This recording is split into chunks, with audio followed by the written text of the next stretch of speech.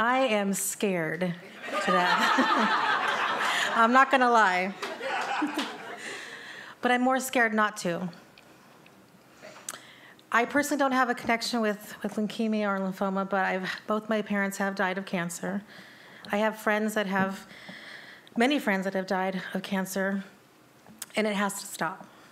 This disease has to stop.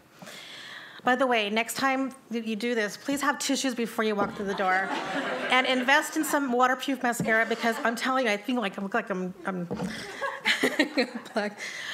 but please, um, the fight, the fight has to go, keep going until it is completely gone. Let's kick cancer's butt.